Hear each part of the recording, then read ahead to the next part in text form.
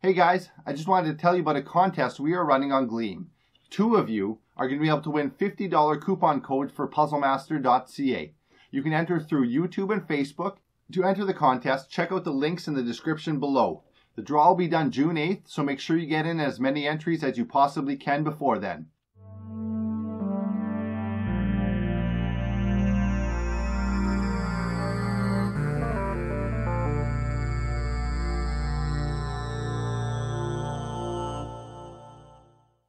Hello, my name is Tyler, and I am your Puzzle Master Insider.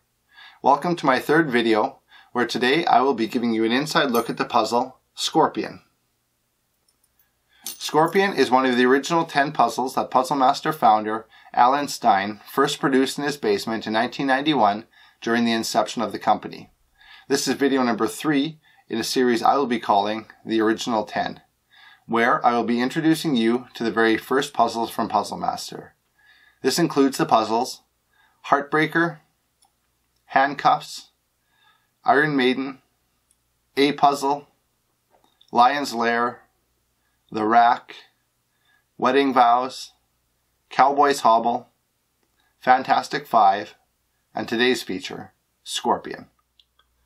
Scorpion is a wire puzzle made from 3mm or 1 8 inch thick nickel plated steel wire with four nickel plated rings, two wooden red painted beads, and a black nylon rope.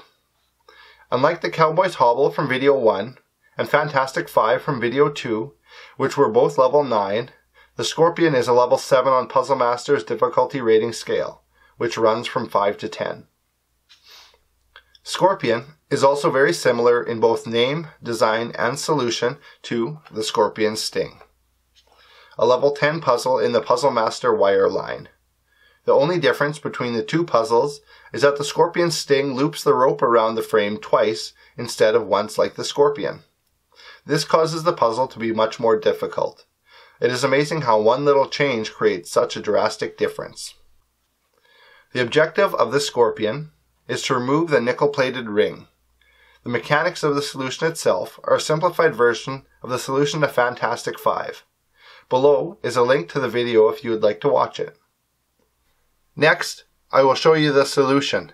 If you aren't interested in seeing this, then please stop the video here. Three, two, one, zero. Now for the solution, you want to hold the frame sideways like this. The first thing you'll do is put the ring that you're taking off up onto the frame like that. And now you'll notice when it's hanging that there is one rope comes through the top. You want to take that top rope, put the ring from that rope through the frame. It should leave you with one bead hanging on there. You'll take that rope ring, put it onto the rope. Down here. Again, grab that ring and put it up through the frame over the bead and off. Now to get it back to that first position, you can take the ring out of here and put it down.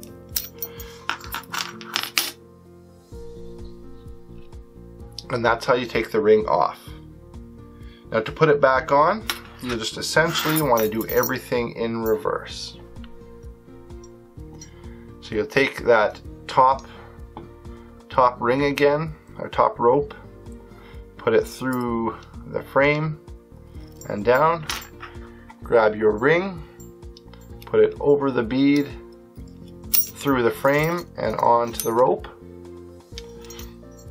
Then grab the ring, put it up onto the frame. Take the ring without the bead and put it through the top and you're back on.